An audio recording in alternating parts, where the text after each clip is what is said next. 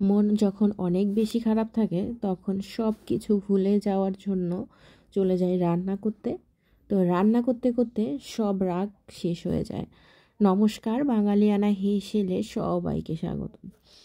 তো আজকে একটা শর্টকাট নাস্তার রেসিপি শেয়ার করব, যেটা একদম দশ মিনিটেই রেডি করা যায়। তো এখানে আমি দুইটা পেঁয়াজ কেটে নিয়েছি আর এখানে একটা কাঁচামরিচ দিয়ে দিয়েছি। আর এখানে পরিমাণ মতো একটুখানি লবণ দিয়ে দিলাম।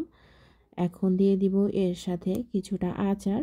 তো এখানে আমি জলপাইয়ের আচার নিয়েছি। আপনারা চাইলে অন্য যে কোনো আচার আপনাদের ঘরে যেটা আছে সেটাই দিতে পারেন।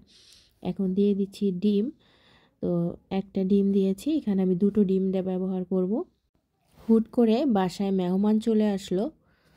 খুব দ্রুতই মেহমান বসিয়ে এই নাস্তাটি তৈরি করে দিতে পারবেন। খুবই সুস্বাদু একটা মজার নাস্তা বা সকালে বা সন্ধ্যায় চায়ের সাথে আপনারা এটাও তৈরি করে খেতে পারেন।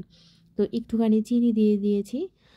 এখন ভালো করে এটাকে হচ্ছে মিশিয়ে নিব আর ডিমটাকে ভালো করে ফেটিয়ে নিব ভালো করে, তাহলে হচ্ছে এটা ভালো হবে রেসিপিটা।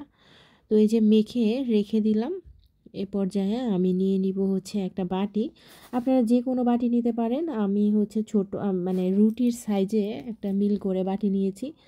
তো একটু চেপে চেপে দিচ্ছি বাটিটা। আর দেখেন, বাটির চারপাশেও কিন্তু একটু রয়ে গেছে। আর মাঝখানটা একটু গর্থের মতো থাকবে।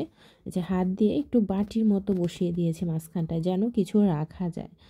তো এইভাবে করার পরে হচ্ছে আমি এখন এই যে মাছ, মাঝখানে যে গর্তটা, এটার মধ্যেই হচ্ছে যে মেখে রেখেছিলাম ডিমটা, সেই ডিমটাকে এখন ঢেলে দিব। তো প্রথমে আমি দুটো ডিম নিয়েছি, ভেবেছিলাম যে যখন করব তাহলে একটু ডিম বেশি দিয়েই করি। তো দুইটা ডিম, একটা ডিম হলেই বেশি ভালো হতো, কারণ দুইটা ডিম আমি অর্ধেকটা রেখে দিয়েছি। দুইটা ডিম দিলে একদম পুরো ভরে এটা পড়ে যাবে। উপর দিয়ে আরেকটা রুটি দিয়ে দিলাম রুটি দিয়ে আবারও সেমভাবে হচ্ছে চার পাঁচটা এবার আটকিয়ে দিলাম চাপ দিয়ে যাতে দুইটা রুটি একদম চেপে থাকে। তো এটা একটা ভাইরাল রেসিপি তো হচ্ছে সবাই চার পাঁচটা কেটে ফেলে দেয়, তো আমি আর নষ্ট করলাম না।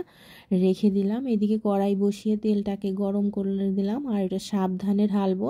দেখেন ঢালতে গিয়ে কিন্তু একটু ডিম পড়েও গেছে, যেহেতু ডিমের পরিমাণটা একটু বেশি।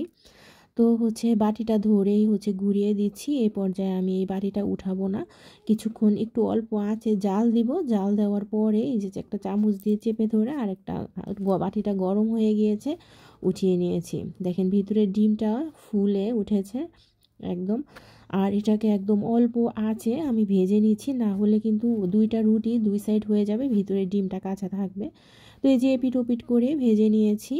এটা হচ্ছে কি? মিনি মোগলাই। তো এখন উপরে একটু সস দিয়ে এটা ডেকোরেশন করে নিচ্ছি। এখন এটা হচ্ছে গরম গরম পরিবেশন করব আর আমার বিচ্ছু বাহিনীগুলো বসে আছে, এটা কখন কাটবো আর কখন তারা খাবে।